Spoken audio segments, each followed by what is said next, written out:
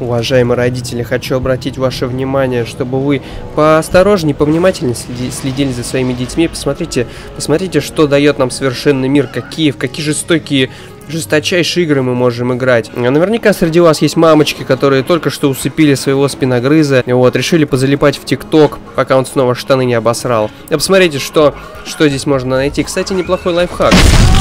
Но на этом жестокость игры не заканчиваются, ведь мы, нам предстоит самим убивать бедных младенцев зомби.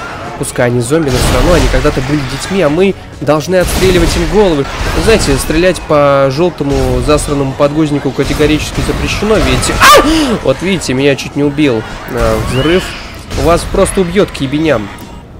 Кошмар, скольких же я убил. Но мне это нравится. Оп, видите, можно взять голову младенца и просто поиграть с ней, как в мячик. Вот еще один. Какая страшная рожа. Так и хочется сесть на нее или раздавить своим сапогом.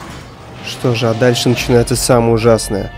Потому что мы попадаем в ебаный актовый зал. Сам актовый зал меня, на меня с детства производил ужасающее впечатление.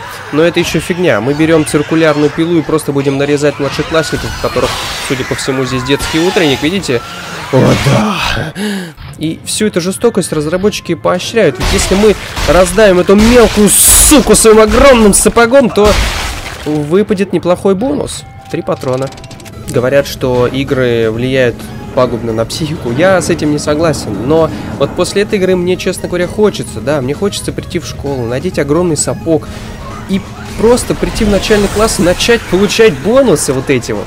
Сдохни, сдохни, сдохни, сука! На! Блять, как же охуен! О, пятихат выбил. Сашенька, что это с тобой? Как-то ты неважно выглядишь. По-моему, ты мертв. Да.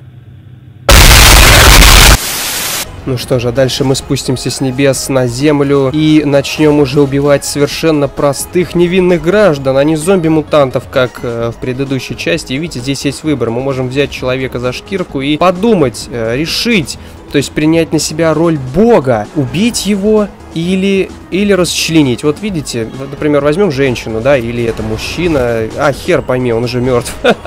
Да, наше толерантное время не разберешься. Понимаете, то есть, насколько вы сразу же становитесь тщеславным и гордым человеком. Вы возомнили себя бог, ведь в ваших руках была только что чья-то жизнь, а вы ее лишили.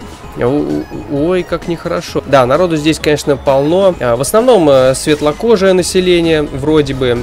Ну или они просто все в крови, непонятно кто у кого. Как по мне, во многих играх, э, почти во всех, не хватает еще для полноты э, ощущения э, беременных женщин и детей. Оп, видите, я разрубил и о, я, я поглощаю его душу. Видели этот светящийся шар?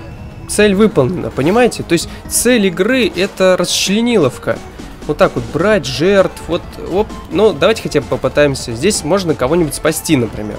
То есть у вас есть выбор, вы либо выбираете темную сторону, либо хорошую. Это вот, это хорошая черта игры, неплохая, потому что когда есть выбор в жизни, вы, в жизни должен быть выбор. Ну что, как вы думаете, пощадим мы этого непонятного трансгендера? Ну, да, я думаю, я думаю, стоит его отпустить. Вот мы его отпустили.